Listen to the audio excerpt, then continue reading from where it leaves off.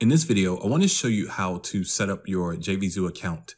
Now, in order to get started, you'll need to go to jvzoo.com, which you'll see this page here. You want to go ahead and click on sign up, and then you'll need to fill out this information here, which is very easy to do. So you'll need to choose a display name, then put in an email address, choose your password, and then choose your country, which for me is the United States, which is already selected, but you can choose from the drop down box in here.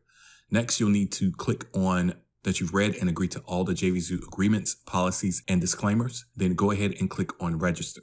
Okay, and that's how you sign up. The next step is to go to your email account so that you can activate your account. And then once you've done that, you can come back to JVZoo and log in. So let's go ahead and let's finish that registration.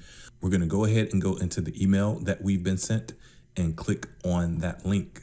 And now we can see that our account has successfully been activated. And now we can go ahead and log in and start using the features within JVZoo.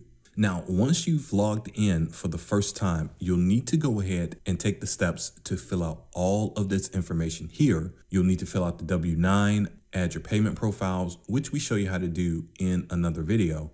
And if you don't have a GetResponse account or an autoresponder service, you can use this option here to sign up for one.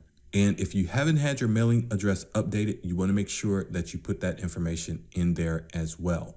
And finally, you can scroll down to see some of the additional resources that JVZoo recommends to help you build your business online with JVZoo. Okay, so a few things before we end this video. Now, if you didn't see the confirmation email, make sure to check your spam folder to see if the email was delivered there. Okay, you also want to make sure that you add the JVZoo email to your address book as well as whitelisted to make sure that you always receive updates, notifications, and information about special events. So once again, that support at JVZoo, you want to make sure that you add that to your address book and whitelisted in your email account. That way you'll never miss out on an update from JVZoo.